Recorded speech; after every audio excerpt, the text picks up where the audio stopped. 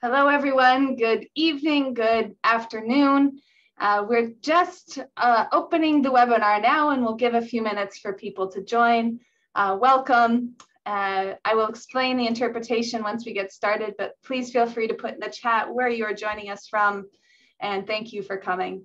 Uh, vamos a comenzar en algunos minutos. Personas están uniendo con nosotros en este momento porque webinar está abierto y si quieres poner algunos mensajes en el chat, está abierto y vamos a comenzar pronto. Gracias.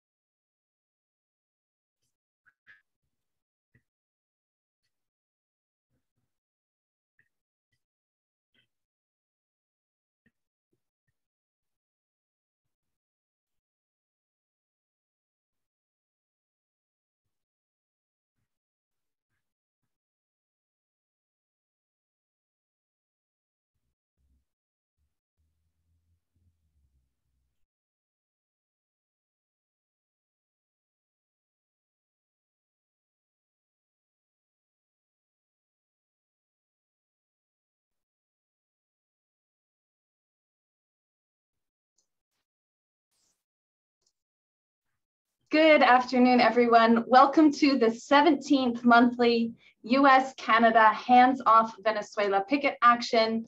Buenas tardes a todos y todas. Bienvenidos y bienvenidas a nuestra acción eh, mensual para los Estados Unidos y Canadá fuera de Venezuela y Free Alex Saab and to Free Alex Saab. Antes de comenzamos, voy a explicar el sistema de interpretación porque este webinar está disponible en inglés y español. Uh, en algunos minutos vamos a empezar el sistema de interpretación y en uh, su computadora o teléfono hay una parte abajo que dice es, um, más y en esta parte es posible uh, entrar el sistema de interpretación y hay una opción adentro de esto um, a, a, seleccionar su idioma, inglés o español, y hay una opción también, se dicen uh, silenciar el audio original, y este es muy bien a usar. Vamos a poner las instrucciones en el chat también. Thank you everyone for joining. This is uh, a great afternoon to be here together, united for an end to US-Canada sanctions on Venezuela and to free Alex Saab. We have uh, interpretation available. So in just one second, we'll turn on the system for interpretation. You go to the bottom of your screen, computer or telephone, and there will be an option for more, and then an option to enter the interpretation or a globe symbol. Then you choose your language, English or Spanish, and then you um, also hit the option that says to silence original audio.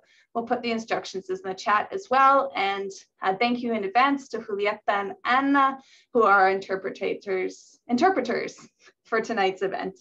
So we'll just go ahead and get that started.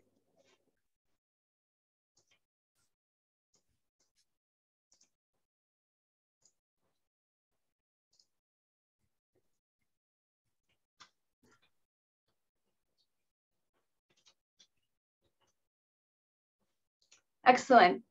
So thank you again, everyone.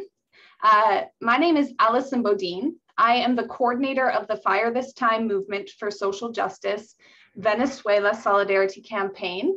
And we are one of the organizers of this, the 17th uh, monthly picket for US Canada Hands Off Venezuela, an end to sanctions on Venezuela, and uh, to demand the freedom of Venezuelan diplomat Alex Saab, currently held in US jails.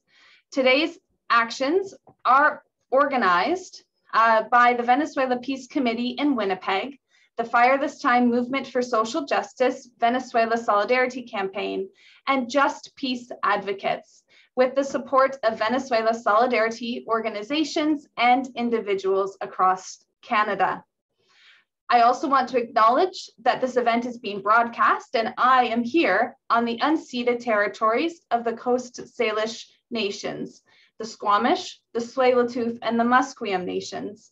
And I encourage people who are participating to put in the chat uh, where they are joining us from and uh, the Indigenous stolen territories that they are uh, working from, if they know them, or to look them up if they do not and also to uh, take a moment to reflect on the importance of our continued work as we work against uh, US Canada sanctions, US imperialist intervention in Latin America. We also recognize uh, imperialism here in Canada and the United States and call for self-determination for Indigenous nations.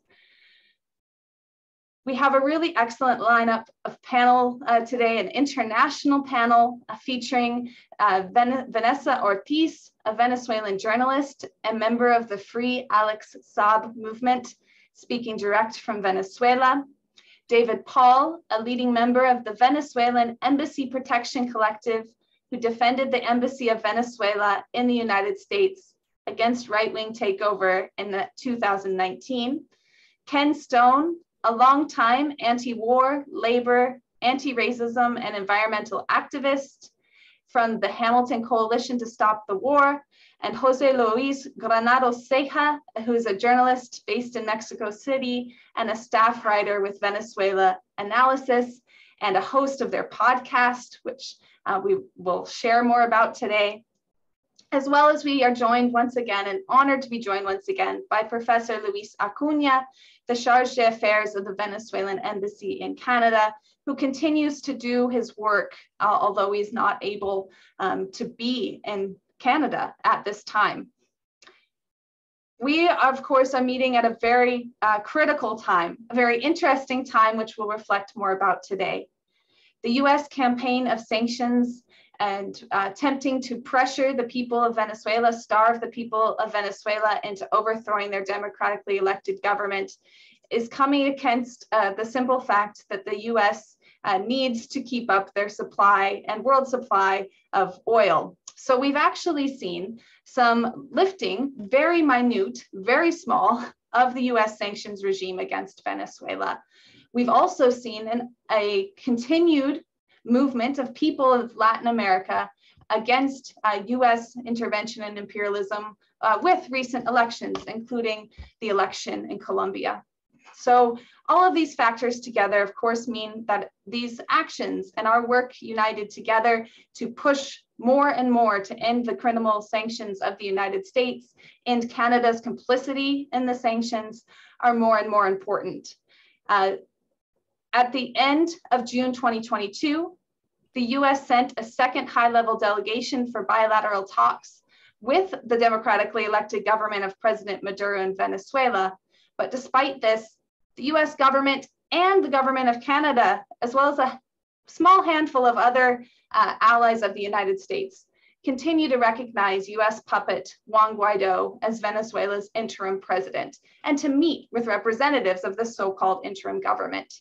And then, of course, we have the continued detention of Venezuelan diplomat Alex Saab, who is unjustly held in US jails for his work to attempt to alleviate just a small amount of the pressure on the people of Venezuela.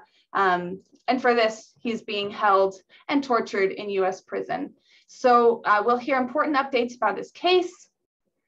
Thank you again for everyone joining and reminder that at the end, if you have a sign, a t-shirt, a button, or you have nothing at all but a, a fist of resistance, then we'll join together in a photo.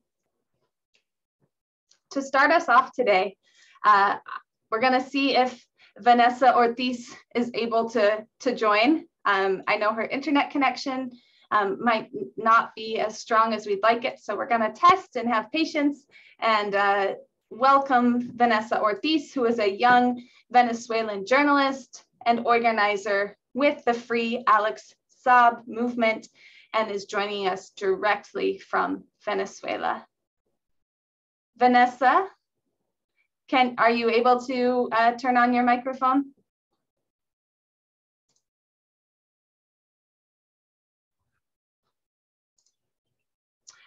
I think you are muted, Vanessa.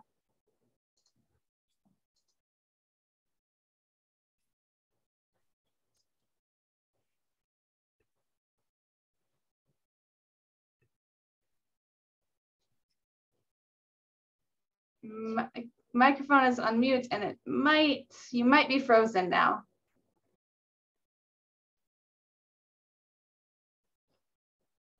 Ahora sí me escuchan. Can you hear me now? Yes, we can hear you now. Sí, ahora sí, ahora sí me escuchan. Bien, quiero Great.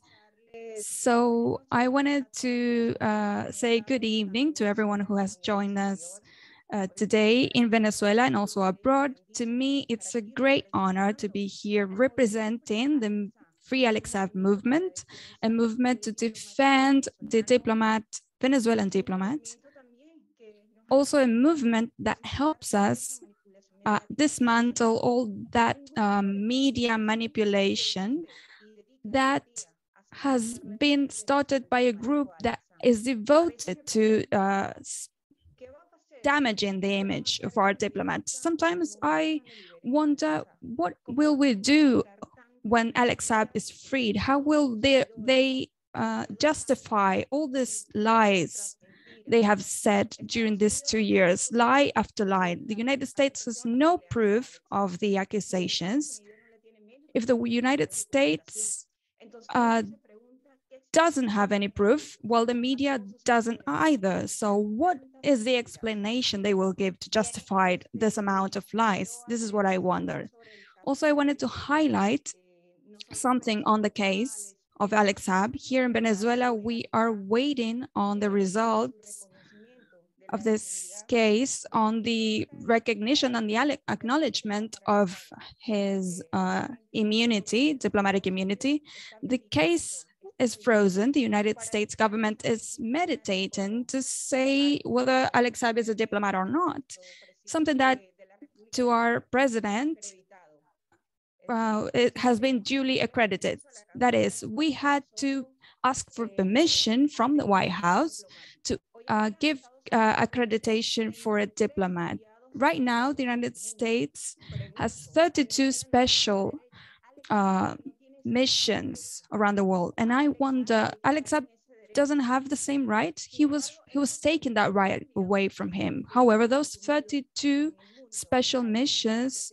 Uh, from the United States around the world are protected by the Vienna Convention. That right was taken away from Alex Saab. And however, the United States attributes that right to, to themselves. So sometimes I feel that they have taken away the, the binding nature of the Vienna Convention. It's absurd to hear that the United States court is determining the status of uh, Alex Saab as a diplomat, even knowing that there's the recent former uh, def, uh, defense secretary's um, declarations showed that the United States knew that Alex Saab was a diplomat. So the persecution on Venezuela has been ongoing. It's a people that has resisted many wars, psychological wars, economic wars, and now we see a, a war against diplomacy.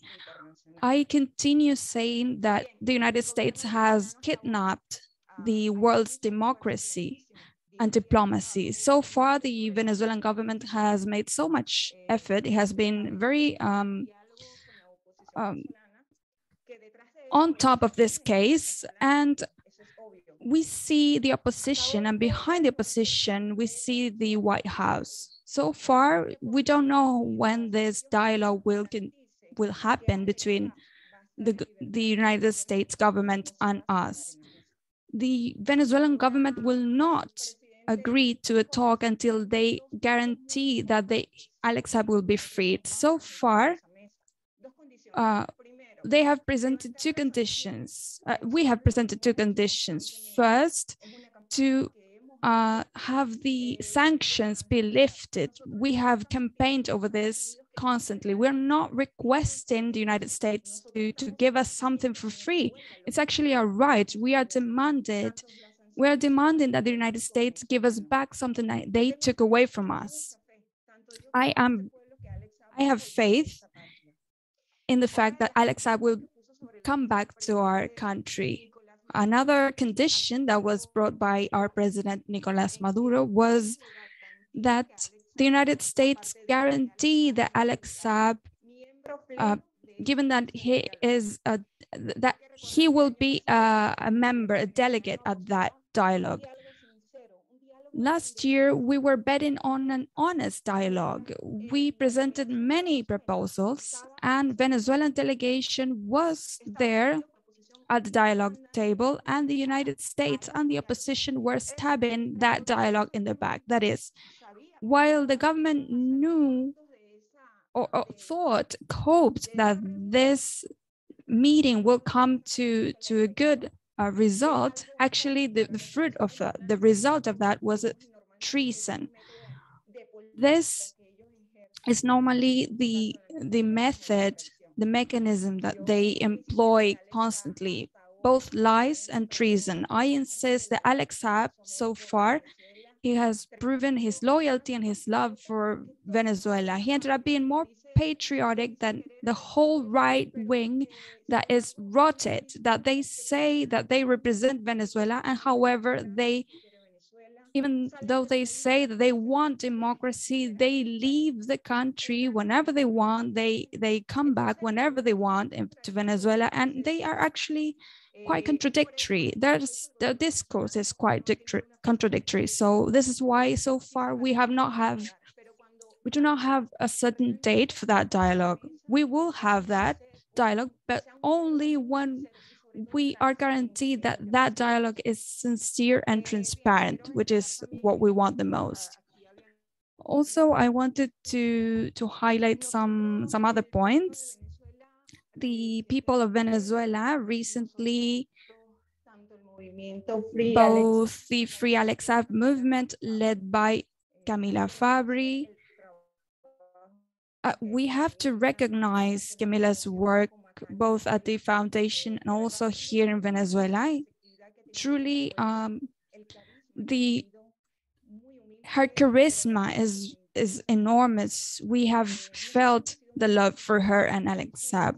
We, uh, she feels as a Venezuelan as well, and that is very satisfactory to us. So here at the movement, we are campaigning to disseminate the truth and to defend Alex Saab. We also are in charge of going all over Venezuela to try to help the needy uh, all over the country. And recently, Camilla, the, the campaign inaugurated different uh, food centers.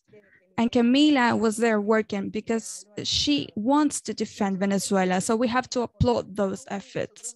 And each of us, Venezuelans, we have to contribute to that cause. I encourage Venezuelans, those who are a bit doubtful and didn't know who an Alexa was, uh, I encourage them to contribute. This is something that the United States government does not forgive from Alex Saab. This, this uh, solidarity Alex Saab really used uh, his tools to bypass an economic sanction. Recently, we sent Alex Saab some letters, and through his lawyers, he received these letters, and we transmitted this strength, this constant struggle that he has had, the, the infinite loyalty that he has shown. He received the, the letters and he replied to them. So in a letter that a Venezuelan sent on that same page, on, on the other side of the letter, Alex Saab responded, replied, and that shows that he is really connected to us. Even though he's not present, he is connected to Venezuela. He acknowledges the Venezuelan government's effort to, to achieve his freedom. So we are hopeful that we will have Alex Saab this year in Venezuela. This is what I feel. So I want to encourage all of you who are uh, who have joined this meeting from all over the world to to really join us because we want to to fight together. Right now, we're victim of a constant attack. So we have to ask ourselves if Venezuela is suffering that situation right now, maybe tomorrow your country can suffer those things. And we will be there to, to fight alongside you because Venezuela will always be there.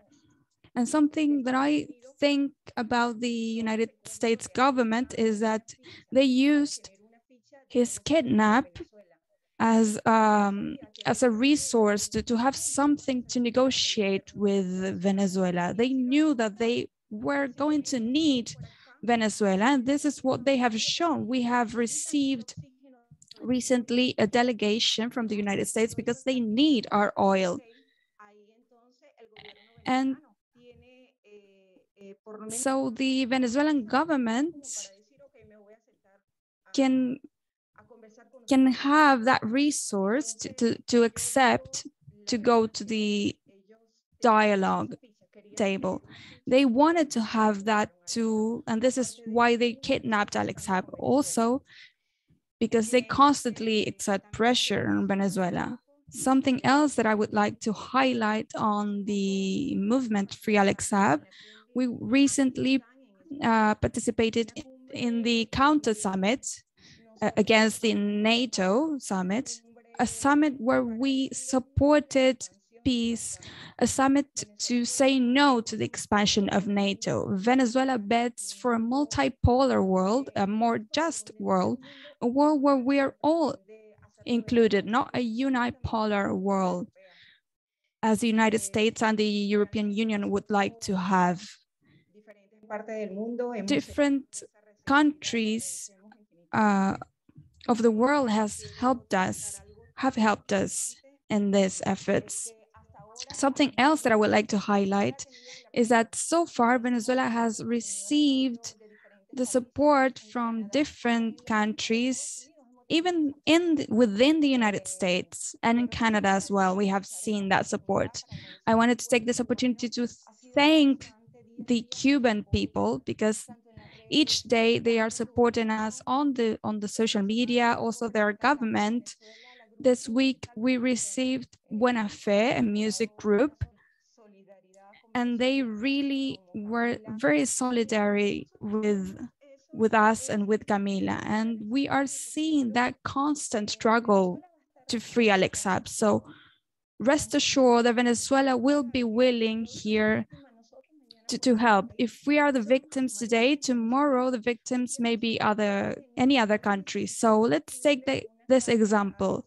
If you want to write a letter to Alex Saab from any other country in the world, he will receive that. We will send the letter his way and he will read it and he will reply. So once again, I wanted to say that here in Venezuela, we're still fighting. We are willing to continue with the struggle and with this movement. That to me has been very satisfactory. When I decided to join this campaign, um, I didn't know what I would do, but right now I feel that I did not make any mistakes. This is the only tool that we have to, to defend ourselves in the face of the claws of the United States and all in the face of this campaign that they wanted to use to create an image of an Alex Saab that is non-existent. Because if the United States government has uh, dropped all charges except one charge for conspiracy that they do not even believe themselves, they have accused them of so many things and uh, just uh, overnight, they dropped all charge charges. So I wanted to thank each and every one of you and to say that we continue struggling. And I want to encourage you to join our movement. You can follow me and on the movement on the social media. You can also feel, uh, follow Camilla. We insist we will not stop until we achieve uh, the freedom of Alex Saab. And before concluding, I wanted to show something that I did, and I did this with so much love because this is what the United States did with the Vienna Convention. This is what this sign reads. 762 days of kidnapping. This is what they have turned the Vienna Convention convention into, a kidnap that has lasted for more than 700 days. We demand the freedom of our diplomat. Alex has to come back to his country. He has to go to come back to his territory. He fought for this country at the most hard, at the hardest time when the world had turned its back to us. Only seven countries supported us at the moment, only seven countries. And I remember that uh, Cuba, Cuba is as a country is a people that doesn't have many things, but they are very, uh, they are very, they have so much solidarity. Latin America has to wake up. Chavez was a, a president that united the whole continent. And when they, we needed them the most, they turned their backs on us. So Alex Saab has to come back to its country. The United States cannot kidnap democracy, cannot continue playing around with the Vienna Con Convention. And I want to conclude my intervention by thanking all of you and all of you who have been following the case very closely. Thank you very much, Vanessa Ortiz. Muchísimas gracias. Uh, we are so grateful you are able to join us from the Free Alex Saab movement in Venezuela. It is only possible for us to struggle uh, for Alex Saab's freedom because we can stand alongside the people of Venezuela and the Free Alex Saab movement uh, because you are working so hard. Uh, we uh, must do more from here to uh, unite together, uh, to uh, bring different forces and uh, people from progressive movements uh, to support Alex Saab, especially leading up to the next trial that he'll be having, which I believe is happening in August. though, of course, the US government, as you said, doesn't uh, really even fully believe their own charges and perhaps will delay once again. Alex Saab has been held for over 760 days illegally and uh, in a cruel manner by the United States. And it is important that people in the US know about this injustice, as well as people here in Canada. If you would like to write a letter to Alex Saab, as Vanessa said, you can write one by hand and then send me a photo of it, and I will be sure that it gets to Alex Saab. I will put my email in the chat especially if you're participating uh, from North America. We want to be able to send more letters. Thank you. Uh, yes, Nino, the next uh, scheduled date for Alex Saab is the 29th of August. I also want to say that each 16th of the month, which is the anniversary of when Alex Saab was kidnapped from Cape Verde and sent to uh, the United States. Each 16th of the month, there is an online day of action many people also hold demonstrations around the world. And I encourage people to get involved in that and to support and use the hashtag free Alex Saab, especially on the 16th of the month. So that's Saturday, uh, two days from now. Thank you again, Vanessa, and free Alex Saab. Our next speaker today is David Paul. David is here uh, joining us from San Francisco, so California in the United States. As I mentioned, he is a leading member of the Venezuelan Embassy Protection Collective, who defended the Embassy of Venezuela in the United States against right-wing attack and takeover in 2019. David is a longtime supporter of solidarity with Cuba, Venezuela, and Nicaragua, a member of the Sanctions Kill Coalition, the Task Force on the Americas, and the Democratic Socialists of America, which has recently organized a tour of Venezuelan uh, feminist women across the United States. So I am very much looking forward to uh, hearing a report on that tour and so much more, David. The floor is yours. All right, thank you. And a reminder to try and speak slowly, please, for our interpreters. Thank you. Okay. Thanks.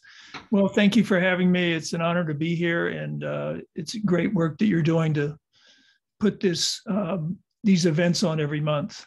Um, like she said, I was um, uh, had the pleasure and uh, honor of helping to host this tour of three Venezuelan feminist activists to the United States um, last month, uh, sponsored by the Democratic Socialists of America and Code Pink. Uh, they were on it, and I wanted to explain some things that happened on the tour about the um, the three women themselves and some other thoughts that came out of their um, their tour. Um, they toured seven cities in the United States, talking about the impact of sanctions, meeting local city officials, congressional officers, um, met with community organizations, uh, members of DSA chapters, did public events um, and radio interviews. And then at the end of the tour in Los Angeles, they participated and spoke at the Alternative People Summit in Los Angeles. Um, one, one of the participants was Monica Moncera, a professor of the National Arts University. She manages a group uh, preserving Afro-Venezuelan musical traditions. Angie Hernandez is an indigenous woman from uh, the Wayuu uh, community uh, bordering on Colombia. And she works in a social organization called Todas Nosotras Violeta. It does workshops about reproductive and sexual rights for young women. And Yolimar Mejia is an industrial engineer, worked for many years in the oil industry, is part of the Brazil's landless workers movement, and also works in the Todas Nosotras Violeta uh, organization. They uh, started in many of their talks, they gave a context to what's happening in Venezuela. They talked about the uh, decades of poverty and corruption under the neoliberal governments, and where Venezuela was essentially a petro colony of the United States. And now they see themselves in the second fight for independence, not from Spain, but now from the United States. And the election of Chavez, uh, Hugo Chavez in 1999 began a, a Bolivarian political revolution, a a new independent path for Venezuela, rejecting the hegemony of the United States, using their resources to fight the poverty and hunger uh, and services for their people, promoting regional integration, a new constitution that gave many rights to many marginalized communities. The US sees all of this as a threat to their domination, like a gangster punishing anyone who defies their rule and, and to set an example for others. They will punish anyone who defies their rule. Because if they succeed, the ones who defy their rule, that will inspire other countries and show people, especially in, the, in North America, that there exists an alternative to a neoliberal model. And that leads, that has led, led to such inequality and poverty there's a quote by Elliott Abrams, a neocon from the US government, who said, We have um, worked all over the world to show that socialism does not work, and we cannot let Venezuela be an exception. And that's, I think that's the th shows the thinking of the US government at this time. they, this punishment uh, takes the form of, and these are things that uh, the three uh, Venezuelan women elaborated in their talks, that takes the form of economic terrorism. Hundreds of cruel and illegal coercive measures, illegal by the UN Charter and all international law, violating the basic human rights by limiting access to food, medicine, and basic goods to the whole population, causing thousands of deaths. The theft of assets, uh, gold, money, uh, blocking trade and financial transactions, sabotage of the infrastructure, and the kidnapping and torture of a diplomat, Alex Saab, as you just heard about, who was simply trying to secure uh, food and medicine for his people. Truly, the US government, by these measures, could be considered the largest uh, example of organized crime in history. The women uh, frequently mention that the goals and methods of these sanctions can be easily seen by looking at the own words of the US government. There was a famous quote by the former ambassador Brownfield, who said, one, um, paraphrasing, one of the goals uh, and the main goal was to create despair, hunger, and economic collapse in Venezuela so that they overthrow their government. And also, they pointed out regularly that North Americans can look, or anyone that has any doubts, can go to the Department of Treasury website where all the hundreds of um, coercive measures are laid out and easy to see. They often commented that they're being punished for their achievements, for empowering the poor, and that all of this has become worse since Barack Obama in 2015 declared Venezuela an unusual threat to the security of the United States. They, are, they also expressed often that they're very worried that there are plans in Congress to make the sanctions against Venezuela uh, a permanent law, and uh, that would be very dangerous. Um, some specific things that each of them shared in their talks. Yolimar talked about the loss of state revenues due to the sanctions, which uh, created very um, drop in salaries and a loss of jobs. The lack of spare parts for infrastructure, specifically, she highlighted the supplies needed for surgeries, uh, neonatal surgeries, the rise in maternal and infant mortality, limited access to vital imported medicines, contraceptions, uh, contraceptives included, causing a rise in teen pregnancy, the lack of fuel and fertilizers, which created an effect of uh, the drop in food production and the difficulty to distribute food. Angie talked often about the indigenous rights that are embedded in the new constitution. The importance, she's also very involved in the, the internal intense debate about abortion in Venezuela. She talked, being on the border with Colombia, she saw much evidence of many professionals being for, uh, in desperate situations, being forced to migrate because of the lack of jobs due to the lack of revenue. Um, her mother, um, she often mentioned that her mother developed a curriculum to teach indigenous language and culture in the schools. And this, uh, her work is actually featured in a Smithsonian um, book about education here in the United States. Monica, an Afro-Venezuelan, talked about the increased stress in the families and the increase in domestic violence uh, during this period of sanctions. She said her own mother died from a stroke by not being able to access emergency care.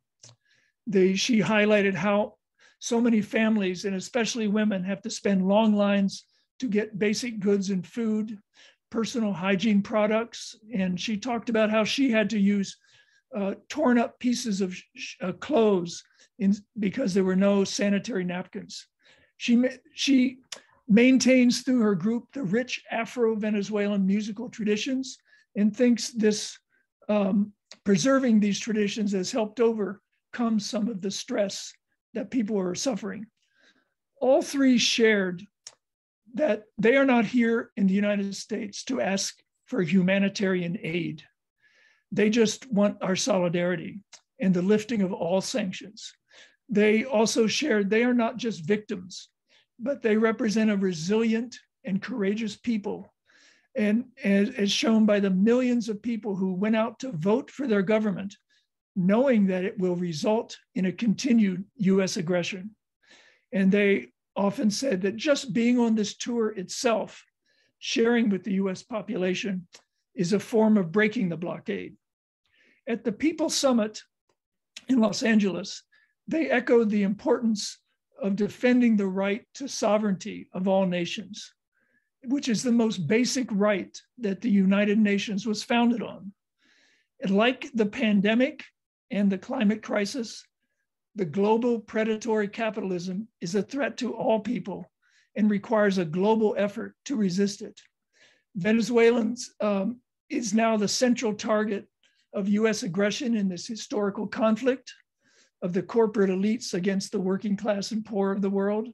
And Venezuela is on the front lines of this struggle. With much courage and resilience, it is standing up to the criminal behavior of the US government And in a real sense, they are fighting for us as well, and therefore should be defended. Because Venezuela is also attempting to build and organize an example of a more just and inclusive society, it must be supported in that effort, not blockaded. As these three women did, we need to make more visible the impact of the criminal sanction policy of the United States and, and Canada, which is sustained by an information war of propaganda with Orwellian claims that they are protecting human rights while they are limiting access to food, medicines, and fuel. We could show people what it would be like if a foreign country blocked access to food and medicines for our families. What would they think? They often spoke of how the Bolivarian Revolution is a process with achievements and mistakes, many challenges, but is constantly reinventing and reevaluating itself.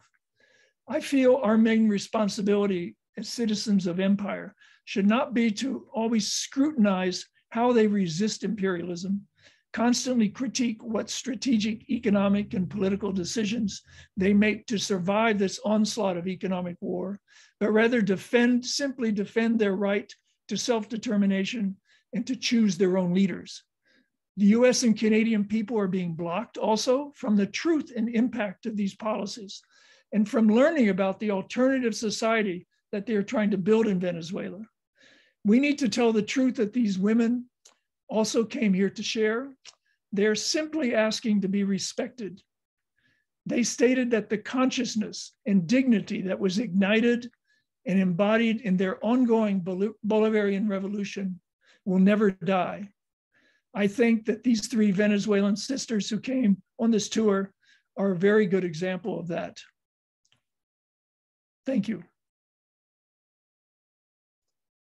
Thank you very much, David Paul, and also for your efforts to help organize that important tour after um, years of, of COVID-19 pandemic and not being able to have in-person events, I think it's incredibly important uh, if we are able to work to bring people from Venezuela to the United States or Canada, because one impact of sanctions and blockade is that they're the US government or the government of Canada is, is really trying to cut people off, poor working and oppressed people in Canada and the US off uh, from our co-fighters our compañeros and compañeras in, in Venezuela um, so that we cannot identify with their struggle or understand the impact of sanctions. And so I, I think the tour sounds like a great success and I'm very uh, glad uh, that you were able to be part of it and share just a piece of it with us here today. Uh, I put a link in the chat that has some video and some photos from the tour. And um, hopefully we can think about doing something like that similar here in Canada and the US again uh, before too long. Thank you so much, uh, especially for emphasizing just why people in the US and Canada need to stand with Venezuela against these criminal sanctions and attacks. Welcome. Next, uh, we have uh, Ken Stone. Ken is joining us uh, from Hamilton, Ontario. He is a longtime anti-war, labor, anti-racism, and environmental activist and treasurer of the Hamilton Coalition to Stop the War, as well as an executive member of the Syria Solidarity Movement. The floor is yours, Ken. Thank you for joining us today. Thank you for inviting me, Alison. Uh, I'm very glad to be here. And what I want to say is uh, about Canada. I want to say that, in our opinion, uh, in the peace movement, the malfeasance of the Trudeau government towards the Venezuelan government and people is largely due to a lack of an independent foreign policy in Canada. Most days in Canada, when we pick up the newspaper, watch the TV, we are embarrassed. And we, by the, by the decisions of the Canadian government towards Venezuela and many other countries of the world. And, and we wonder why we, we bother in Ottawa having a chic foreign minister such as Madame Joly, when all she does is take orders from the, or take her line from the State Department of the United States of America, and why we have this young, suave, well-dressed uh, prime minister called Justin Trudeau, who just takes his orders from whoever happens to be the president of the United States. Um, now, um, it doesn't matter if the, uh, we might as well have, with Justin Trudeau, we might as well have Joe Biden as our, as our leader. Um, or for that matter, uh, it could have been, he's not that discriminating. Uh, he took the order from uh, the former president, uh, Donald Trump, to arrest Meng Wanzhou shamefully uh, in a shocking display of um, Canada's, um, I would say, vassal like status in the US empire. Um, the fact is that the Trudeau government is a willing accomplice in the, uh, in the US empire and it profits by it. Um, but some people say that there's no alternative available to in Canada, that we couldn't possibly have an independent foreign policy. Look, we have this huge, powerful neighbor, the most powerful country in the world to our south. We have this huge, long border with it. Uh, we have a, a, great economic dependence on them. They are our major trading partner. Uh, they have, in, in, fact, invaded us twice in our history. Um, and to those people, I would say, you know, there are two things I would say to them. The first one is historical precedent. There have been uh, prime ministers in the past who have shown some courage and independence in foreign policy, such as a conservative, John Diefenbaker, who stood up against the US on the nuclear Bomarc missiles. There was even Justin Trudeau's uh, own father, Pierre Elliott Trudeau, who uh, opened diplomatic relations with Cuba and uh, in uh, six, over 60 years ago and has maintained and Canada has maintained those uh, relations ever since. And years before Nixon went to uh, Beijing, Pierre Elliott Trudeau, the father of the current prime minister, accepted China's one state one China policy and established uh, uh, good relations with the People's Republic of China until, unfortunately, Justin Trudeau screwed things up uh, and uh, the, our, over the arrest of Meng Wanzhou and and showed um, and and and brought economic and uh, brought political relations and diplomatic relations, even economic relations uh, with China to a new low. Um, so that's the first point. There is a historical precedent. And secondly, um, I would like to, uh, I would tell those people who say we can't have an independent foreign policy to look south of the monster, the imperial monster to our south, look south of there to the, uh, our other partner in the US uh, Mexico Canada Free Trade Agreement, our other partner in North America, and namely Mexico. Um, and uh, Mexico uh, also shares a, a, a, long border with the US. Um, it also has a, an economic dependence on the US, more than Canada, even. Uh, it's been invaded a couple of times, but yet look at uh, President Lopez Obrador, who refused to attend the Summit of the Americas, specifically over the continuing US embargo of Cuba and over the exclusion of Nicaragua, uh, Cuba, and Venezuela from that summit.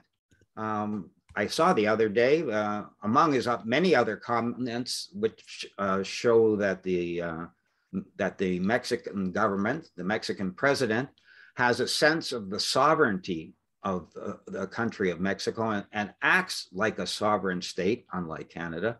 Uh, Mr. Obrador said that in the case of Mr. Assange, if the US doesn't stop extraditing Mr. Assange, then uh, they should rename uh, the, uh, uh, the Statue of Liberty because it's not a symbol of freedom, he, he said, it's a symbol of hypocrisy.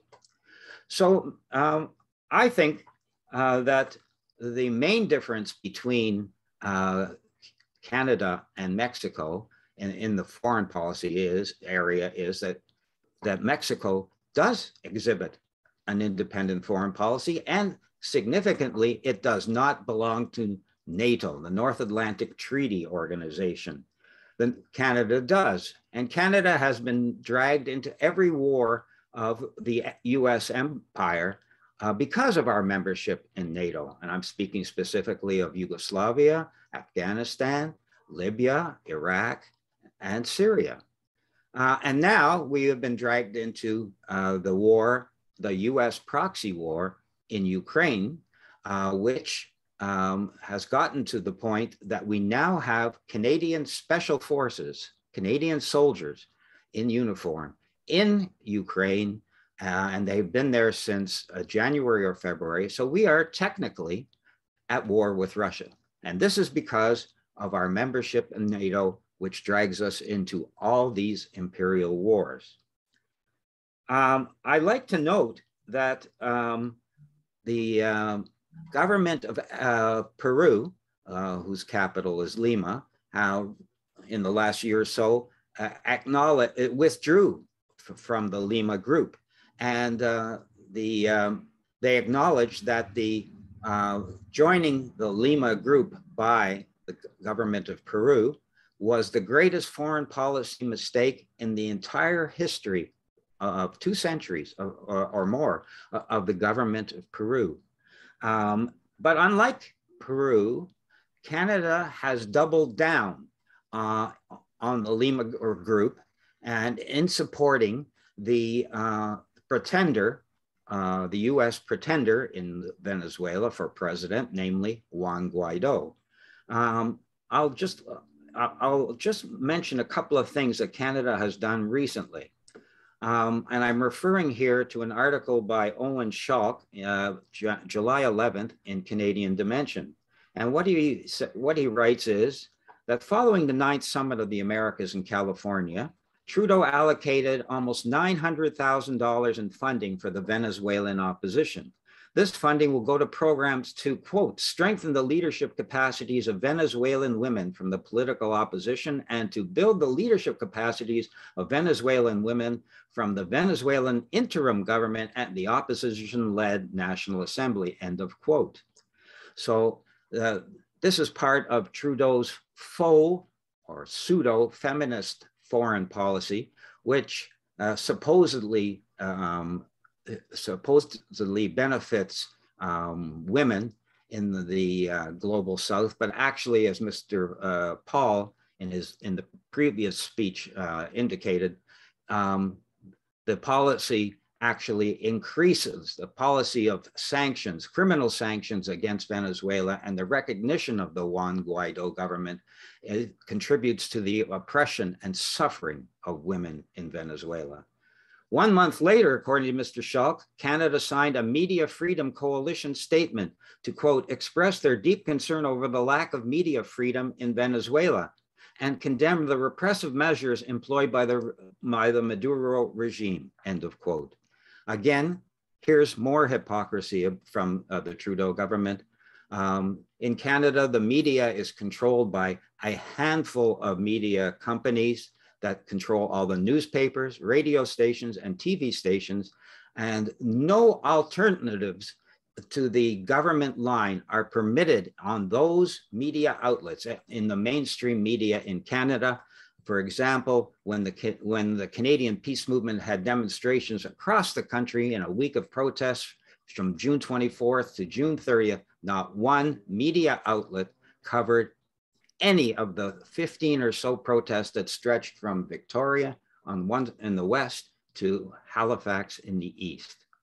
Um, moreover, uh, uh, following the sum, uh, just before the summit of the Americas, I believe it was, uh, um, our chic foreign minister, um, Madame Joly, uh, met with the deputy minister of the foreign affairs for the Venezuelan interim government and co-founder of Women for Democracy in Venezuela. I'm reading from the uh, from Global Affairs Canada government website, June the 1st. Um, the minister she met and the uh, Madame Joly met the uh, Isadora Zubillaga, deputy minister of Juan Guaido's Venezuelan interim government, and they discussed uh, the role, women's role in building a more inclusive society. So clearly, the Canadian government under uh, Mr. Trudeau is doubling down uh, rather than backing away fr from uh, the US uh, supported uh, attempt for regime change in, um, in Venezuela, is doubling down on this, on, on criminal sanctions and on the attempt to overthrow the Bolivarian revolution, which has brought so much, uh, which until which ha had brought so much promise to the people of Venezuela. I would like to conclude uh, by saying that Canada, again, needs an independent foreign policy. We have to get out of NATO. Uh, we have to start acting like a sovereign country and start supporting the, uh, truly supporting the struggles of people in the global south. I regret that up to now, uh, there's not even been a single sliver of light in, in Ottawa. Not only the government uh, has treated the Venezuelan people with contempt, contempt, but also the opposition parties have been uh, have been absent, missing in action when it comes to uh, uh, arguing with the Canadian government in any significant way over its uh, sanctions against Venezuela and its treatment to, uh, of the Venezuelan government, which is uh, uh amounts to regime an attempt at regime change. Hopefully, however, I can report to you that there are some behind the scenes developments, and I hope at the next Venezuelan picket organized by MAWO in August, I have some good news to report about some new developments that are taking place behind the scenes up in Ottawa. And hopefully there will be some good news and some sliver of light in that swamp that uh, on Parliament Hill. Thank you very much for inviting me to speak today. Thank you, Ken Stone, uh, for bringing uh, Canada, especially into our discussion here today. And also, I, I think a something we must demand within our anti-war work, our, our work as peace-loving people, is the normalization of relations between Venezuela and Canada, between the US government and Venezuela. Um, it impacts all of us and it is disgusting and angering how much the government of Canada uh, can speak out of both sides of its mouth when it comes to so-called uh, sovereignty or issues of, of self-determination and completely violate that for the, the people of Venezuela. Um, and so uh, we we must continue as, as we have been doing and, and working together to make sure Venezuela is included in our anti-war work, especially when it comes to Canada's sanctions, which are an act of war against Venezuela. Thank you very much for joining today so our, our final speaker before uh, we're going to play actually a, a, video after Jose Luis, and then uh, that's when people can kind of get ready for the group photo and the participatory picket aspect of our event, um, as well as we'll hear greetings from people across Canada.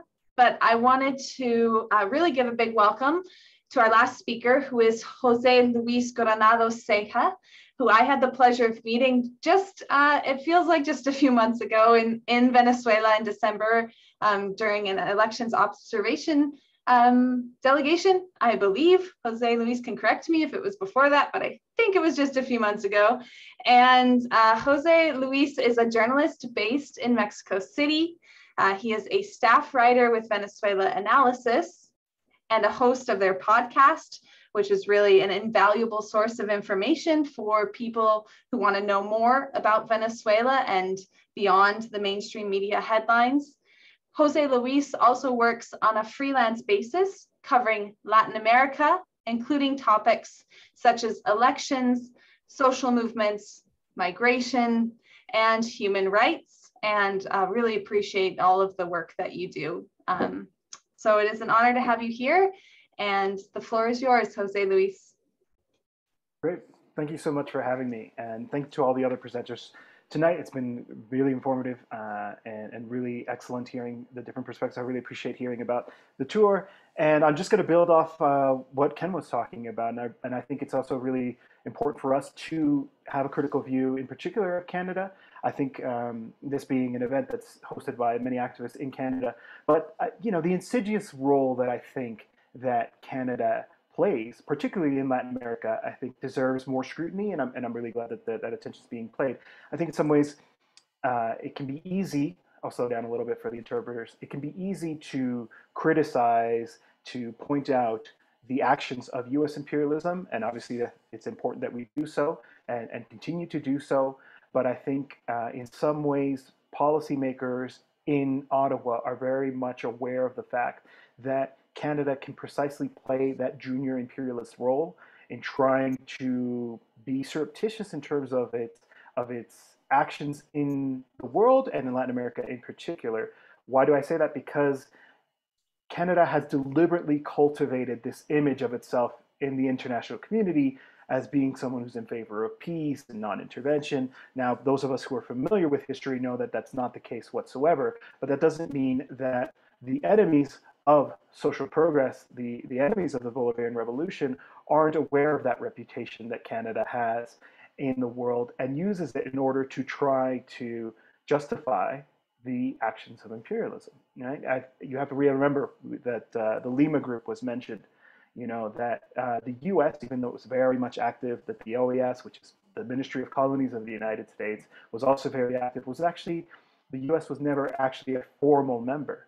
In fact, that role of guiding the actions and decisions that came out of the Lima Group were largely dictated by the Liberal government in Ottawa. And so, anyway, I, I mentioned that because I think it, it, ties into a little bit of what I want to mention tonight. So, uh, you know, I was asked to talk a little bit about, the regional situation uh, beyond the US and Canada. Uh, so, just the other day in a presentation, Maduro was talking about how the, the meeting between López Obrador, which uh, we also heard about uh, Mexico's foreign policy, uh, his meeting with Joe Biden. And in that meeting, um, you know, it was it, it, it, came about as a result of the the this the Summit of the Americas, wherein López Obrador, as previously mentioned, decided to openly boycott the event, sending a lower level delegation in in in his place. And I think that's important, and I mention it because I think that that is somewhat extraordinary in the sense that we probably would not have seen that sort of posture from any government in the region, but in particular Mexico, with its important relationship with the United States in the 20th century. And yet we saw it happen here. And I think that speaks to the, the level of advancement of anti imperialist thought that exists in the region. And I make a point of saying anti imperialist thought because even though Lopez Obrador is probably, to my recollection, never talked about US imperialism, uh, he nonetheless maintains an anti-imperialist position. And I've mentioned this in other occasions, and I, and I, like to reiterate it. But if we remember the, the Juan Guaido self-proclamation as president a number of years ago, you know, we, we, we understand that this was actually a, a strategy that had been planned out previously. They had put the pieces in place throughout the region, tapping on the US and Canada's allies in the region, so as to say, well, look, this this this character Juan Guaido has declared himself president, and therefore, we should recognize it. We've seen these other states, and, and in that case, if I remember correctly, it was Brazil, Chile, Ecuador, uh, and Uruguay, a handful of countries from Latin America. So as if to say, there's a consensus, you know, that that the those of you that continue to recognize Maduro are the ones who are who are out of step and to make it seem like it was something that had a lot of momentum. And I remember watching it live as it was taking place, as news was coming out and people were starting to mobilize. And, you know, there was a lot of question in terms of what exactly this meant. Would the militaries, uh, you know, remain loyal to the constitution and to the democratically elected government of Nicolas Maduro, et cetera, et cetera. Uh, but there was one key thing that happened, and it was probably, I think, if I'm remembering again correctly, around 11 o'clock in the morning, where the government of Mexico, under López Obrador, says, hang on a second, we continue to recognize Maduro. And that really slowed down the momentum. It really made it seem that actually, no, there isn't consensus on this. Actually, there is, this is a controversial issue. You can't just unilaterally change who you recognize as the government. And I think that really served to slow down what effectively, what we now understand to be, a, you know, a, a, a long planned and uh, uh, a long, long planned coup attempt against the democratically elected government. in Venezuela. And I think that that's that's particularly significant because, as we know now, uh, Juan Guaido was never actually able to consolidate that coup. The opposition was not able to actually exercise any kind of influence, and now they're a laughing stock. And I think we should be clear about that. You know, and and um, you know, it's interesting if you read English language mainstream coverage, uh, they'll you know they'll still re- refer to him as the interim government, all this kind of stuff. But they do sneaky things. Um, and if you're interested in, in, sort of a breakdown, we often do break down the mainstream media's coverage of Venezuela on Venezuela's Twitter feed. Um, it's not myself; it's actually somebody else from the team. But we have a lot of fun with it. Um, we do like to make fun of, of, the mainstream media and their and their poor coverage. But anyway, to get back to that, what they what what they did end up saying is Juan Guaido, who was originally recognized by 60 odd on countries, that's far from the case today, but they continue to employ that kind of language. If we want to know in terms of who is actually uh, continues to recognize Guaido, I think the best rubric that we can use is what are their votes at the UN General Assembly, and overwhelmingly, the countries of the world, in particular those of Latin America, recognize Maduro.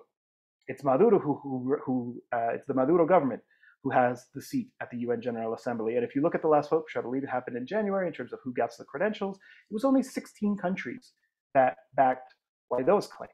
So that's a very small number compared to the original. And I think that if, if these uh, media outlets were, were more responsible or more loyal to the truth, that they would actually report that figure as opposed to, to one that is no longer relevant. But nonetheless, what does that change due to? It's also changed uh, uh, due to a, a, shift in the political landscape in the region. And, and I think it's important that we do celebrate the fact that in the face of a crisis of capitalism in the world, that the peoples of Latin America, one of the means that they're using in order to try to confront these crises is the election of leftist and progressive governments. And we've seen it uh, you know, to with with mixed results, admittedly, right? Uh, you know, we saw the election of Castillo in Peru, we saw the election of Boric in Chile, uh, and we saw the election most recently of of Petro in Colombia, and quite likely, uh, unless there's a coup there, uh, or or some other unscrupulous acts of Lula's return to the presidency in Brazil. No, so I started out talking about the need to, to, to defend the anti-imperialist line or anti-imperialist thinking. Uh, even if we don't use that language, I understand that the, different scenarios will require us to use different kinds of language. Um, but I do think that the principles, in the same way that Mexico's López Obrador has done it, uh, are really, really important to maintain. Why do I say that? So if we look at other neighbors in South America, let's take the case of Gabriel Boric in Chile. So Boric, uh, you know, I'm not going to get into so much of his, his domestic policy, but he's not having a good time, right? His, his approval rating is, is rapidly dropping. It's actually running the risk of undermining support for the new constitution, which actually is, is an incredible document with a lot of really important measures. Uh, but on the international uh, scene, it's been troubling. And unfortunately, what we have seen, uh, I wager to say that he has tried to accommodate Chile's foreign policy to the dictates of Washington. Uh, and that's worrisome and I think needs to be criticized. And, I, and then uh, what you will see from the Boric government is what I call the instrumentalization of human rights. So there's this emphasis, and there's a very long tradition inside of Chile of defense and promotion of human rights.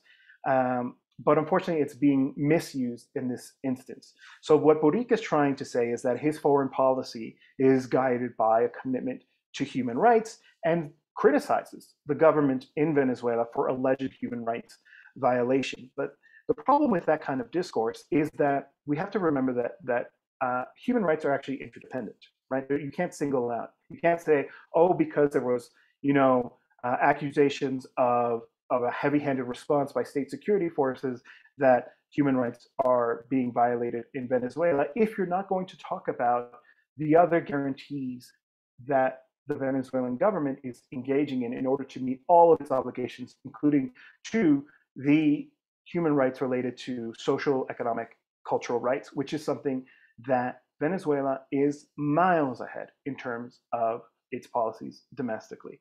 And so this instrumentalization of human rights allows Boric to try to try to kind his government to try to kind of like cut a path which is to say, we're different from our predecessor. And in some instance, in, in some regards, Boric's government is different from Piñera's uh, in the sense that, yeah, they're no longer pursuing the diplomatic isolation of Venezuela the way that Piñera did. That part is true, uh, but it's not enough. And and, I, and that's kind of the point that I want to stress when it comes to to Chile. That's it's not enough to simply uh, move away from only one of the damaging aspects of the previous foreign policy, because what is Boric doing? So even though he criticized the U.S.'s decision to exclude Cuba, Venezuela, and Nicaragua from the Summit of the Americas, he went and attended. In contrast to López Obrador, who not only criticized, but opted, to Lucho Arce, who criticized and decided not to go, to many countries of the Caribbean that similarly criticized. And that's actually far more important that, that those messages be delivered in that way as opposed to relying on only a, a soft criticism. And I think it's also important to note, and you know, I spoke a little bit about Canada. What was Boric's uh, behavior in Canada? It was an appeal to the to the to Canadian capital. You know, there wasn't a necessarily an effort to connect with the Canadian working class or to the diaspora community, which is very large in Canada, the Chilean community. But no, you know, I, I um, he ended up speaking to a gathering of, I believe it was um, representatives from Canada's um, mining companies, if I'm not mistaken, but it was, uh, you know, safe to say, a, a, gathering of Canada's business leaders. And what did he say there? I'm not the next Maduro. You know, that's a pitch that he's making. He's trying to say, well, I'm on the side of the of capital, not necessarily workers. And so I think it's important to criticize also who did he pick to be his foreign minister? Urrejola. Who is she? She was actually a um, a public servant in the Organization of American States from 2018 to 2021, which coincides with the rule of Luis Almagro as Secretary General of the OAS. And so that's troublesome. That's why you saw uh, the very sharp critique of Venezuelan Vice President Delcy Rodriguez of her comments in Spain talking about um, you know the alleged human rights violations in Venezuela. She said she was a stooge of Luis Almagro, you know, and and so um, similarly, Chile was one was the single Latin American country that signed the Media Freedom Coalition statement that was referred to earlier. That again is troublesome, and that's what I say about the instrumentalization of human rights. All right, switching now to Petro and Colombia. And in, some, in a lot of ways, it was kind of surprising because if you've been following Petro, and if you're somewhat aware of the political realities in Colombia, uh, it's been long dominated by, by conservative uh, politics, by far right politics. Uribismo uh, represents a danger not just to Colombians, uh, literally through its um, tacit support of paramilitary actions and its heavy use of the state of state repressive forces uh, while in power, uh, but to humanity itself because of because of its ties to organized crime and all that. And so it, um, that's not to say that that Colombia is inherently a conservative country. I always kind of balk at those kinds of comments when you read them in the, in the press that a, oh, a historically conservative country. No, the, the right wing in Colombia was quite good at being able to leverage the power that it did have in order to perpetuate itself in power. Now, so given that context, we saw Petro trying to make an appeal to uh, to a broad public that effectively worked because we saw that he he was elected, but he made some troublesome comments saying, actually equating Nicolas Maduro to Alvaro Uribe. And that's an absurd comparison to make. They have very, they have little to nothing in common. Um, but, you know, I think we should recognize for what that is, you know, is, a, as an attempt to try to distance themselves because the specter of Venezuela, as it is here in Mexico, in many other countries often raised, oh, if you elect a leftist, then you're going to turn into to Venezuela. Of course, they don't talk about why Venezuela is in the multi-factor crisis that it's in, and it's far more to do with U.S. imperialism uh, than it does in terms of any kind of uh, mistakes that may have been made in, uh, domestically in economic policy. Uh, so that being said, despite the fact that, that Petro was in, in, you know in some in some ways a little worrisome, what direction was he going to go? You know, was was he going to jump onto this bandwagon? Uh, you know, one of the few places where perhaps Guaido does have some supporters amongst the the, the Colombian population and Venezuelans in Colombia, although even there it's pretty limited. But what have we seen recently? Uh, just last week, he said he wanted to return Monomeros. Monomeros is is, an, is um, a subsidiary of a state-owned company from Venezuela called Pequiven. That's really important. It's considered Venezuela's second most important foreign asset, second only to Citgo. Uh, it was similarly, like Citgo, seized, stolen, and handed over to the interim government of, of, of Juan Guaido, which totally bungled the company. So this company, Monomeros, plays an incredibly important role in terms of the agricultural sector, uh, not just in, in Venezuela, but, but, but particularly in, inside Colombia, uh, providing key ingredients for, for agricultural production, namely fertilizer it's been so thoroughly mismanaged by the opposition that the actual Colombian state, under a right wing government, was forced to, in a sense, no, not officially, nationalize the company to put it under state run control because of the management, because of the importance it plays in terms of the actual agricultural production inside of Colombia. And so now, with Petro's incoming government, he said we should return it. And that is and I think it would establish a very important precedent that these historically poor decisions, you know, we heard this mention of the, the former foreign minister uh, in, in Peru under Castillo's government saying that this was the first foreign policy decision that had been made, can be reversed. That, the, that it can establish that precedent of things returning to the way that they should be, you know, uh, and and that um, in this in the case of, of returning this a very important asset to the its rightful owners, which is the democratically elected government of Venezuela, which is Nicolas Maduro. Second, why do I think the election of Petro is is important, and why I am encouraged by these early signs? Well, you know, they talked about once again reestablishing diplomatic and economic ties. That's very important. Venezuela and Colombia have had a very long relationship of cooperation together. And so, in, in terms of even just attending to the needs of the millions of Colombians in Venezuela and the millions of Venezuelans that are in Colombia. It's going to go a long way. But one thing that I'm also encouraged by is that Colombia will cease to be the staging ground for you for interventions against Venezuela.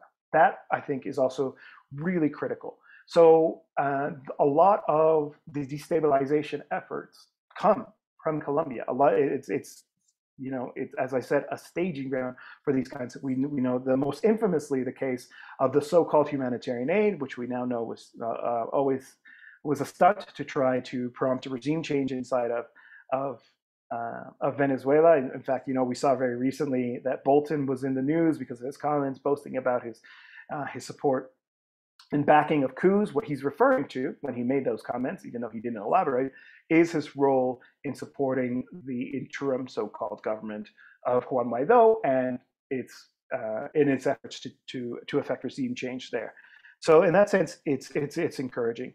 The other thing that I think people should pay attention to in terms of the international scenario, uh, likely this week or next, we're going to be hearing um, the the ruling from UK courts of Venezuela's gold, which I'm sure has been covered here during the pickets a lot. So it's very important to pay attention to that. Uh, again, because uh, because it, the that case in particular is really worrisome. Uh, I invite uh, all, all, all, the people participating to, to check out our coverage of Venezuela analysis. Uh, we'll be sure to, to be writing about that. But you know, it's it's uh, the previous ruling was actually based on a sort of absurd concept on, in in UK, and I'll, I'll put it up here. Um, but basically, making making the the the the case that the one voice policy applies in this situation. So because Theresa May, who was then prime minister, decided to recognize Juan Guaido, therefore the courts must follow that. And basically, it's going to be uh, the legitimization of the theft of resources. And so that speaks to just how fraudulent this kind of language that you'll often see employed by the spokespeople of, of imperialism saying, oh, we must respect you know, the rules-based international order. Uh, in that sense, the, it's always you know rules for thee and not for me. So if, if if we truly lived in a in a world that actually abided by a rules-based international order, then you wouldn't be able to unilaterally change who you recognize as the government and use that as a basis to steal their resources. Um, so anyway, um, just to conclude, uh, even though I spent a lot of time uh, pointing out some of the, uh, you know, the, the the less encouraging comments that have come from some of the region's leaders, overall, I do want to end on this point. I'm optimistic. I think we should be optimistic uh, because what this realignment of politic of politics in the region allows for is for a strengthened region to be able to assert its sovereignty in the way that Cuba does it, in the way that Venezuela does it, so that it's uh, you know the, the, the states that are smaller in terms of their ability to kind of uh, to to take positions that would put them at odds with Washington and put them in the crosshairs. You know, uh, just a, a couple of weeks ago or last week, we saw this this story from the New York Times criticizing the U.S. ambassador to Mexico for being too cozy with López Obrador, and that was largely based on anonymous sources in Washington. When you see that kind of thing, uh, we should understand what it is. It's it's it's the the agents of imperialism planting stories to try to undermine figures like López Obrador for daring to to stand up to U.S. imperialism. So as you have a wave of leftist and progressive leaders elected newly, uh, it allows for more breathing room. And critically, one of the ways that we can actually uh, start to, to, to chart an independent path to start to break away from the chains of imperialism is around regional integration. And regional integration is far more possible when you have consensus on those kinds of basic issues of respect for, for human rights, but not in sort of the liberal conception that comes from the United States. Uh, when we have a, a consensus around the need to reorient the economies towards the well-being of the vast majority of the country's citizens, of this idea that uh, it's that concrete steps need to be taken in order to overcome neo-colonialism and the legacy of colonialism in the region. You know, it's important to, to recognize because of that historical moment that Latin American countries were integrated into the uh, international economy or place in the international division of labor makes it so it's actually far easier to continue to be uh, economies are oriented around primary goods, around the, the, the selling of, of, of, those and the import of value added commodities and things like that that transformation, the, in order for it to take place, in order to, to, to, to change that kind of orientation, uh, you know, requires a shift in perspective as opposed to looking towards Europe, looking towards North America, but actually looking to, to our neighbors and, and promoting uh, development that favors, like I mentioned, the vast majority. And I think that's far more possible with the, the, the new wave of uh, progressive and leftist governments that have been elected in the region. And it also allows for there to be a radicalization of processes, right? One of the key differences, I think, from what was called the pink wave and this new wave is that the first pink wave was in a lot of ways buoyed by the you know the high price of commodities about uh, with with China's in, interest in, in in in securing new relationships and new sources of, of key resources for them that's less the case today which means that the effort to actually attend to the needs of the population in Latin America is going to require inevitably some kind of confrontation with capital and the interests of the ruling class throughout the region. And that, as Venezuela well knows, um, is a far riskier situation, but can also produce a far better situation in terms of actually redistributing the wealth. And so uh, as the, the region's leaders come to face with the reality that they're going to have to, you know, invariably come up against the interests of the ruling class, well, it's far easier to do that if you're coming together as a bloc. You know that that you, there won't be this effort to isolate a country for daring to do what's necessary to actually, you know, uh, to to to meet what the, the constitution of the, our countries demand, to meet the the so demands of social movements, to to to actually um, you know, finally bury neoliberalism and inaugurate, at least from my perspective, an era uh, of socialism, an actual uh, de- deliberate effort taking concrete steps to establish socialism in the region. And, and, and now, just to conclude on that, I do think that that is really important, not just for the region, but for the world, because it'll show that a better world is indeed possible because we're building it. But to get there, we really do require uh, the support of people like, like all of you who are participating in this and in confronting and resisting imperialism where you find it. Thanks. Thank you so much, Jose Luis. Um, I think uh, out of many different things you said, we could probably have a very fulsome, important discussion, and, and we should have one. Um, I really appreciate uh, bringing in so much perspective um, and especially, uh, you know, really understanding, which I think we need to more, why Venezuela is such a, a critical linchpin in it comes to when it comes to you fighting against U.S. hegemony in Latin America, how um, Venezuela being able to continue to resist with their democratically elected government to fight sanctions uh, can still play such a critical role alongside Cuba with developing social movements and newly elected governments, um, and also for the optimism you shared because as you uh, have very well experienced, I think something we face in uh, the struggle in solidarity with Latin America or in anti-war movements, especially in Canada or the US, is people saying, we can't change anything. Nothing's going to happen no matter what we do. And so we have to have that sense of optimism and really learn and understand better more about people that are fighting and winning uh, throughout Latin America. So thanks so much.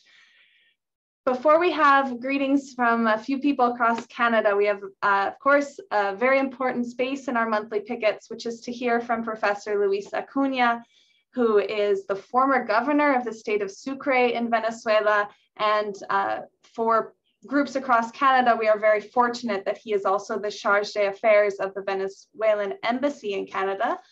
Due to uh, Canada's breakdown of diplomatic relations with Venezuela. He's not able to be here in Canada performing his duties as the charge d'affaires, but he is uh, able to join us on the monthly pickets and is continuing his important work from Venezuela. So good to have you here with us, Professor Luis Acuna, direct from Venezuela. Thank you. Uh, good evening, uh, Alison. Good evening to, to everybody. I want to thank all the people who joined the uh, webinar for their solidarity with Venezuela. I want to thank uh, Vanessa Ortiz, David Paul, Ken Stone, and Jose Luis Granados, because uh, they did a very, very good, they were very good speakers tonight. Uh, to um, Vanessa, I want to assess that we will keep fighting for Alex. Venezuela won't leave Alex alone. We think that Alex did nothing but to help Venezuela, and we will do everything we can to bring Alex back to Venezuela. We are sure we will be able to do so because we have the right. Uh, we, we know that the US is uh, punishing uh, Saab because he was able to break the laws that the U.S. put uh, with uh, to us regarding uh, getting food, getting medicines for the Venezuelan people. And I want to assess that David Paul did it very well re regarding how the sanctions, how the unilateral, uh, the coercive unilateral measure have uh, affected Venezuela. We are still very much affected for those uh, uh sanctions. Uh, they not only affected the economy of Venezuela, they affected everybody. They affected the ability of people to get food, to get medicine, to get dress, they affected all our industry. So many, many people lost their jobs and they have to go out for, for working. uh, to countries in Latin America and every place they could go because they have to work. Young people very well formed in our universities who were unable to work because all the industry uh, have to shut down because the sanctions. So this uh, uh, explanation of David Paul was very good uh, and not more that than than what he said I can say at this moment. And one thing that uh, that I want to to assess is that uh, can Canada actually, uh, and that is something that Mr. Joly said, the only government they recognize in Venezuela is the government of the interim president. So they don't recognize any of the uh, institutions under Presidente Maduro. That's why we cannot be in, in Canada. They don't recognize the diplomats of, uh, of Presidente Maduro.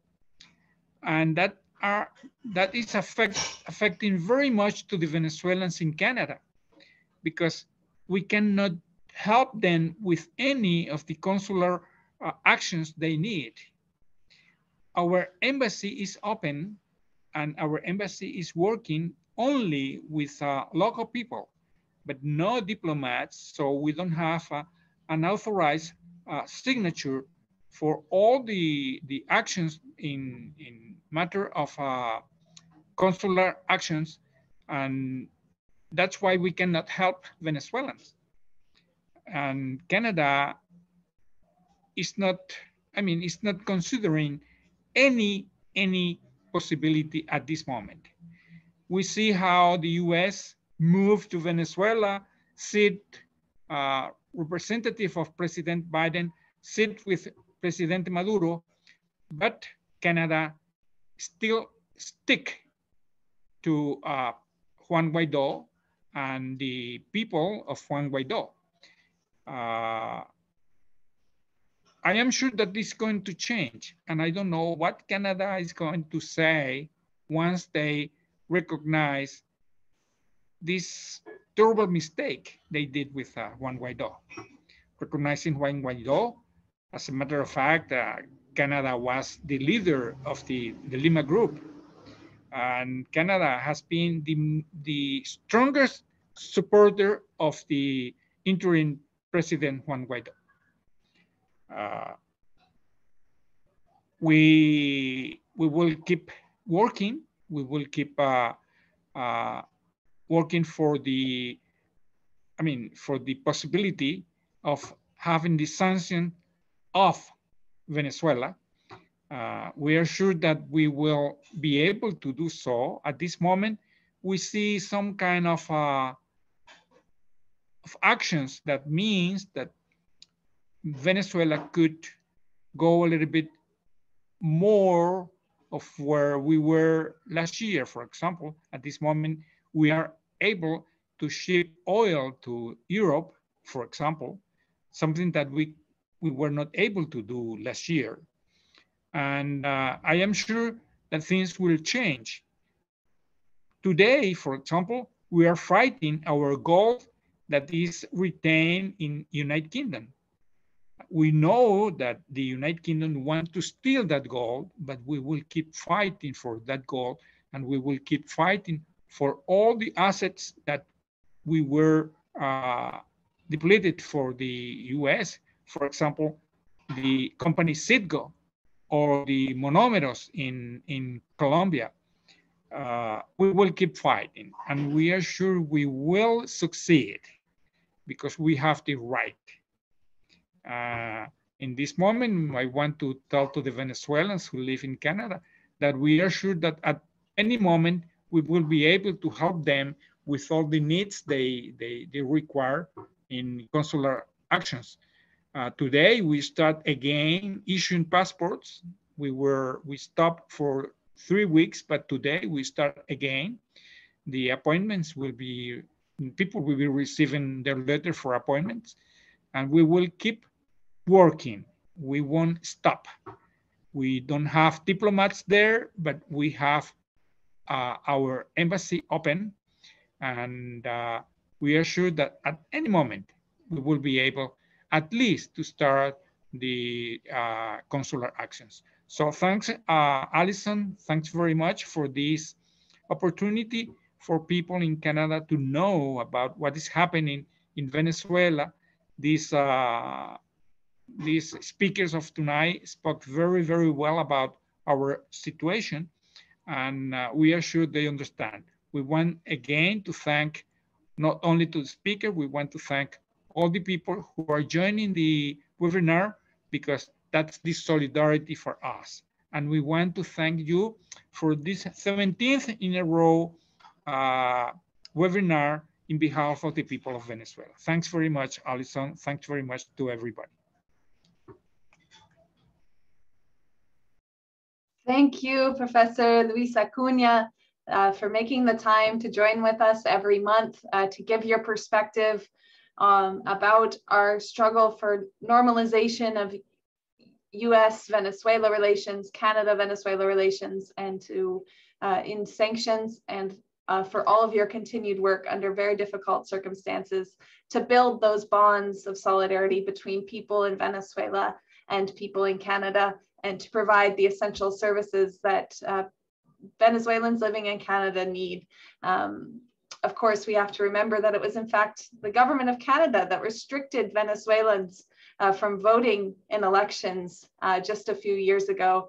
And uh, likely we'll have to continue our struggle to uh, demand that, uh, that all Venezuelans be able to participate in elections uh, coming up for the next presidential election in Venezuela. Um, on behalf of, from here in Canada, I mean. Um, so uh, next we'll have two short uh, greetings, I think. If anyone is representing a group from across Canada and would like to speak tonight, you can uh, send me a message in the chat or raise your hand. But uh, for now, I have Mary Carmen Guevara, who is joining us from Alba Movimientos in Ottawa, Canada. Good evening, everybody. Greeting from Alba Social Movements here in Ottawa. We are continuing our work uh, supporting Venezuela in Latin America. These last uh, months, we've been working hard with the Colombian people to support and to the election. We are so happy that the new government and we are having hope, hope we, are, we have hopes this government will be less problem for Venezuela and anyway, we are continue here supporting Venezuela. Thank you, Alison, and thank you everybody who spoke the really good information. Thank you. Gracias, Mary Carmen. Thank you, Mary Carmen. It is always great to see you. Um, we are fighting together in, in the same trenches here in Canada, and uh, it's, it's awesome to have you here today. Next, I have Janine Solanki. Janine is joining from Vancouver's Peace Coalition, Mobilization Against War and Occupation.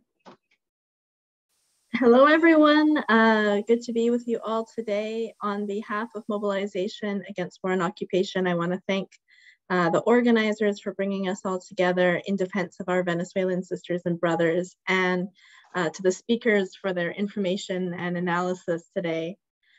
Um, I, I want to just talk quickly uh, about um, what we in Mobilization Against War and Occupation call the new era of war and occupation, uh, which started with the US invasion and occupation of Afghanistan in 2001 and has been plaguing oppressed nations around the world since.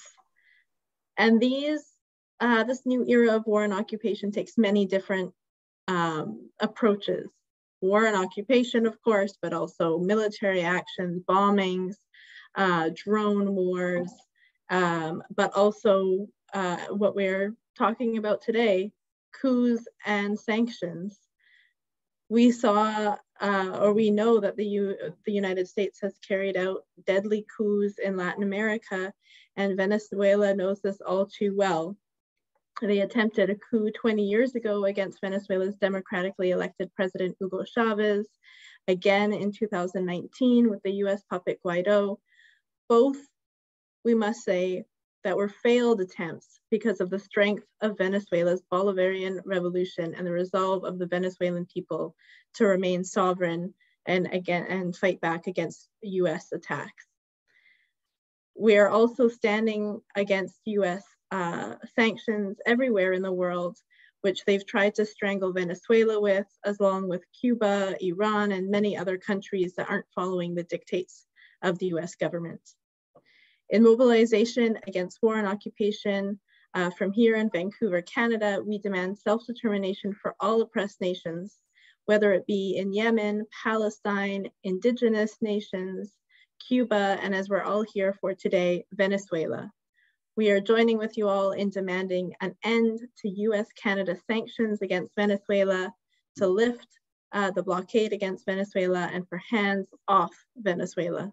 Thank you, everyone. Thank you, Janine Solanki, and for everyone that has joined across uh, Canada, the United States, Venezuela, a few other Latin American countries I see. It's really an honor to have joined together today at the 17th monthly picket action.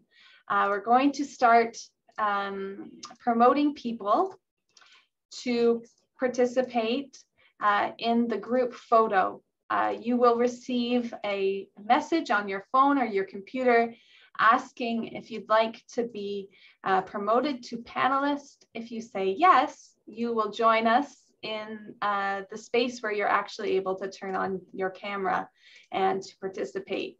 Whether you have a sign or not, it's all right. Uh, you can just uh, bring your face and uh, we'll put up our fists together and do some chanting.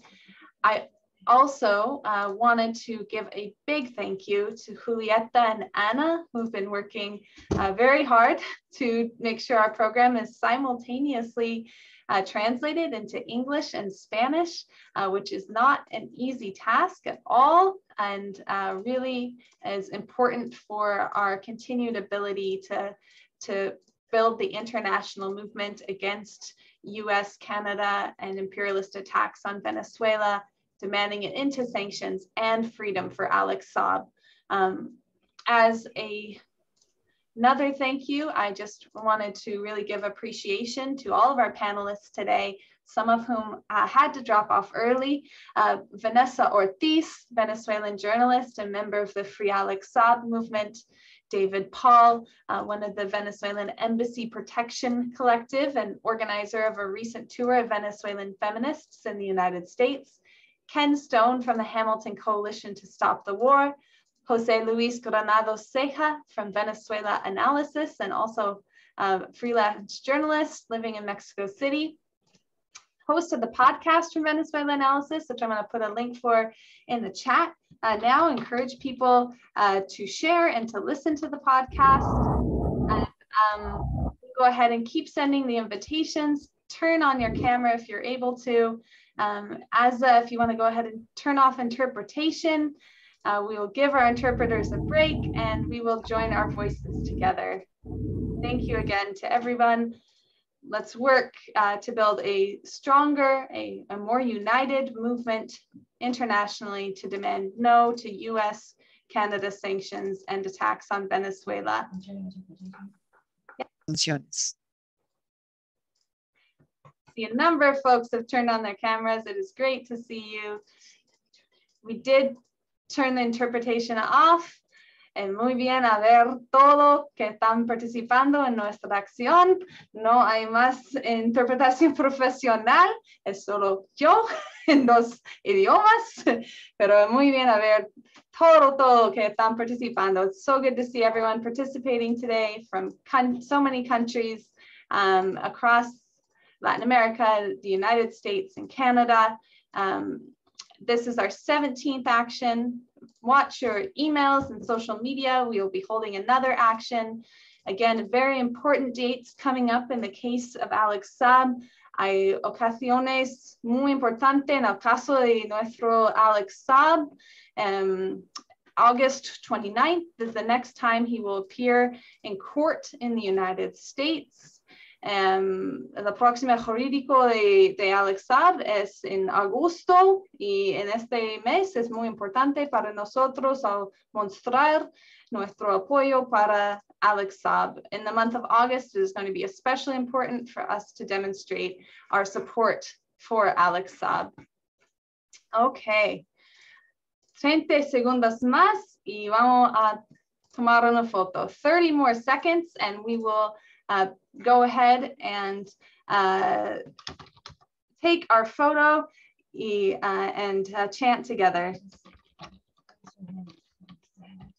If you have not received the invitation, raise, raise your hand on Zoom. Si no ha recibido eh, la invitación para participar en este otra parte del webinar, uh, por favor levanta su mano en, en Zoom y podemos enviarte una invitación. If you haven't received the invitation yet in Zoom, um, then go ahead and uh, share, uh, raise your hand and we will send you an invitation.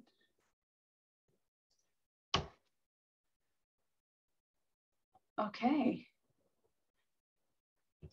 Necesito mi habilidad a participar también.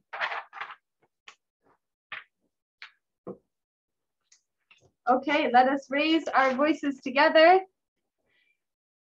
Free Alex Saab now. Free Alex Saab now. Free, Free Alex Saab now. Free Alex Saab now. No to sanctions on Venezuela. No to sanctions on Venezuela. U.S. hands off Venezuela. U.S. hands. Libertad para Alex Saab. Libertad Libertad para para Alex Saab. Libertad para Alex Saab. Libertad para Alex Saab. Libertad para Alex Saab. Libertad de Alex Saab. Muchísimas gracias todos y todas. Hasta el mes de agosto. Un abrazo fuerte. Estamos en la lucha para fin a sanciones a Venezuela desde Canadá y los Estados Unidos.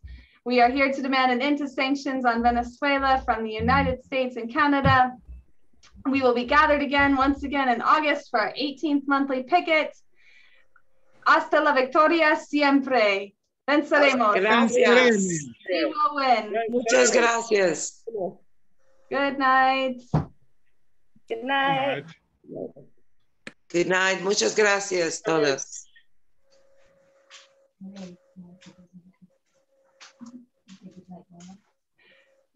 Hasta agosto until August. Thank you, everyone. Good night. There's a few more people joining. Hay poco más gente que está reunido en este momento, pues. Thank you again Good night. who It's two o'clock here in the UK. Ah, thank you for joining from the UK and for staying up tonight. It's great to have you here. Free Alex Saab. Free Alex Free Alex Saab. And thank you very much. Thank you. Good night. Good night.